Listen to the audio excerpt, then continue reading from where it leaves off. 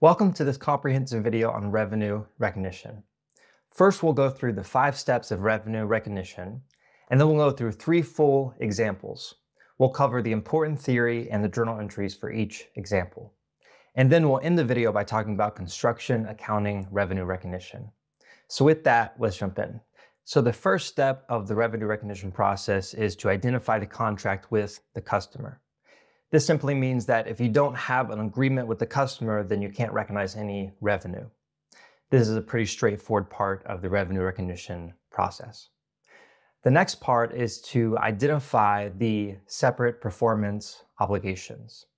Performance obligations are the individual outputs that you are required to provide to the customer. Sometimes you're only providing one performance obligation, so if you're simply selling one item, such as a cell phone to a customer, this is one performance obligation. But if let's say you are constructing three different towers of apartment buildings, those would be three different performance obligations. So that's why we have to identify the separate performance obligations. And then for step three, we are going to identify the transaction price, which is simply how much the customer is going to pay. So then if you have different performance obligations, you have to allocate that transaction price among the different performance obligations. And then after that, you have to identify when you're going to recognize the revenue. It's either going to be at a point in time, meaning that you recognize it 100% right away, or over time, such as with construction accounting. So these are the five steps of revenue recognition. Now, the best way to understand these steps is to apply them to examples. So let's consider the first example, which is quite straightforward. Imagine that we are a laptop manufacturer and we sell one laptop to a customer for $1,000. We sell one laptop, which is the performance obligation. And as soon as we sell it to the customer, we can recognize all of the revenue. So this is recognizing revenue at a point in time. This is because we are transferring the full control right when we sell it to the customer. It's not like we're providing a service over time. We are selling the laptop right away. This applies to any item that you're selling right away, any kind of retail that you are selling. So this means that as soon as we receive the 1000 debit to cash, we can credit revenue for 1000. So we don't need to credit unearned revenue. We recognize 100% of the revenue at a point in time right away as soon as we sell the laptop. Now let's imagine a second example. So imagine that the company is Maxwell CPA Review, a CPA exam prep company. So I provide monthly access to a course. So imagine that a student pays 1200 for 12 months of access to the course. This means that my performance obligation is giving access to the course. But I can't recognize 1200 at a point in time. I need to recognize the revenue over time because I'm providing the service over time. I'm transferring the control over time. So this means that when I debit the cash for 1200 at the beginning, I can't recognize any of that revenue. So I need to credit unearned revenue for 1200. And then each month, as I provide one month of access to the course, I can then debit 100 out of unearned revenue and credit revenue for 100. So I'm recognizing 100 of revenue over time for 12 months. Now let's jump into a third more complicated example that has two separate performance obligations. How's it going everyone? My name is Christopher Souza and I recently just passed four parts of the CPA exam. Maxwell CPA review course absolutely changed my life. I was tired of failing. I mentally just could not do it anymore and I knew that I was smart enough to pass this exam. So I thousand percent recommend Maxwell CPA review course. If it was not for him, I would have never passed the exam. Thank you, Kyle. Now let's consider a more complex example of revenue recognition. This is going to involve two different performance obligations where we need to allocate the price. So let's say the customer signs an agreement to purchase a home security system for 1500. So this is the transaction price. This includes a security system installation and a one year monitoring service. So we can see that we have two different performance obligations. One is an installation which occurs at a point in time. So we can recognize the revenue right away for this. But the monitoring service is a 12 month contract.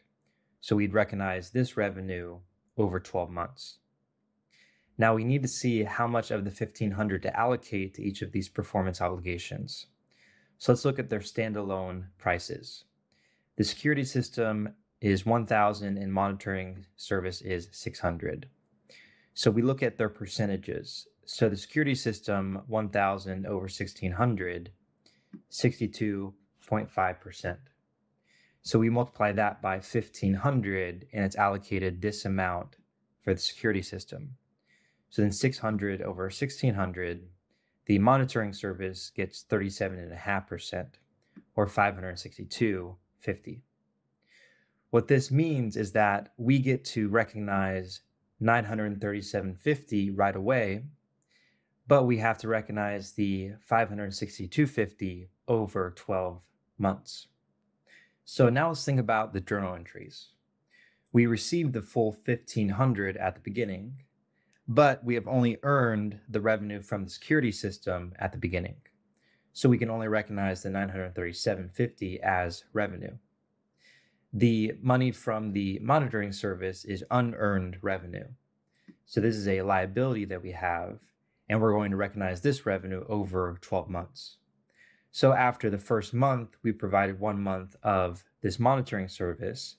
Therefore, we take 1 12th of the 562 and we debit it out of unearned revenue and we recognize the revenue.